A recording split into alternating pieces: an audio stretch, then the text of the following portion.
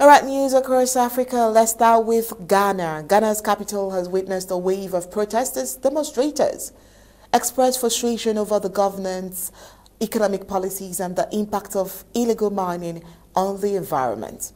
The protests organized by Democracy Hub were met with arrest by the police who claimed that the gathering was unlawful and accused some protesters of attacking officers.